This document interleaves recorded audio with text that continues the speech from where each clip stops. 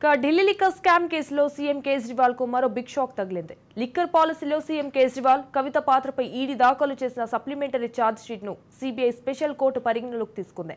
ఈ మేరకు ఈ నెల పన్నెండున కేజ్రీవాల్ను న్యాయస్థానంలో హాజరుపరచాలని సిబిఐ స్పెషల్ కోర్టు ఆదేశాలు జారీ చేసింది.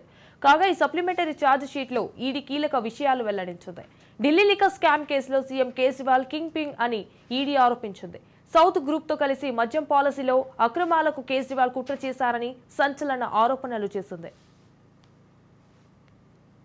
ఇక సౌత్ గ్రూప్ నుండి ఆప్ నేత విజయ్ నాయర్కు వంద కోట్ల క్విక్ బ్యాక్ రూపంలో చేరాయని ఇందులో నుండి గోవా అసెంబ్లీ ఎన్నికల కోసం ఆప్ నలభై ఐదు కోట్లు ఖర్చు చేసిందని ఆరోపించింది.